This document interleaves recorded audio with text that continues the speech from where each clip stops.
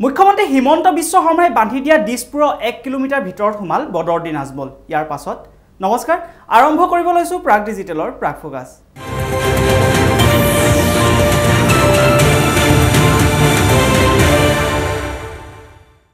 বিজেপিক আপোনালোকে এইবাবে ভোট দিয়ক যাতে এটা হিন্দু সভ্যতা ৰক্ষা হয়। এয়া নিৰ্বাচনৰ আগত বিজেপিয়ে দিছপুৰৰ গাদী দখল কৰিবলৈ সৰ্বত্ৰে ব্যৱহাৰ কৰা এটা শ্লোগান।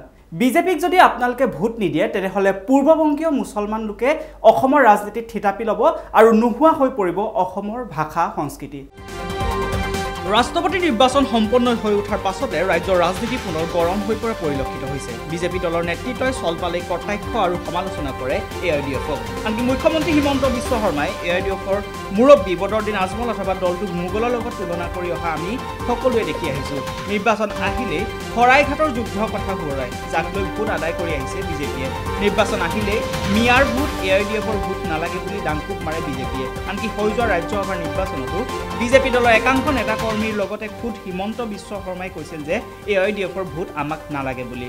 কিন্তু বিজেপিয়ে মুকলিকৈ ৰাজ্যসভাৰ নিৰ্বাচনত এ আই ডি এফৰ ভোট নিবিচাৰিলেও হৈছিল ক্ৰছ ভোটিং যাৰ ফলত সংখ্যা নাথাকিলেও ৰাজ্যসভাৰ নিৰ্বাচনত বিজয়ী হৈছিল বিজেপি মিত্ৰজোঁটৰ প্ৰাৰ্থী। এইবাৰো ৰাষ্ট্ৰপতি নিৰ্বাচনত তাৰেই যেন পুনৰাবৃত্তি হ'ল।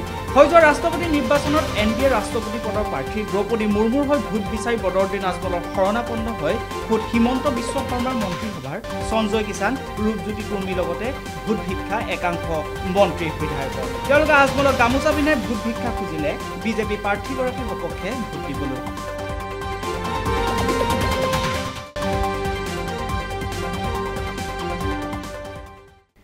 ইয়াৰ পৰা এইটোৱে প্ৰমাণ হয় যে বদৰদিন আজমল নেতৃত্বাধীন এ আই ডি এফ দলে পৰোক্ষভাৱে হ'লেও বিজেপিক সহায় কৰি নিজৰ ৰাজনৈতিক মুনাফা আদায় কৰি আহিছে। আৰু ইয়াৰ বিপৰীতে একাংশ লোকে কেৱল ধৰ্মৰ নামত বোকা ছটিওৱা ৰাজনীতি কৰি নিজৰ মুনাফা আদায় কৰি আহিছে। দৰ্শকসকল আপোনালোকে চাই আছিল প্ৰাগ ডিজিটেলৰ প্ৰাগ ফোকাছ আৰু প্ৰাগ ফোকাছত আজিলৈ ইমানেই।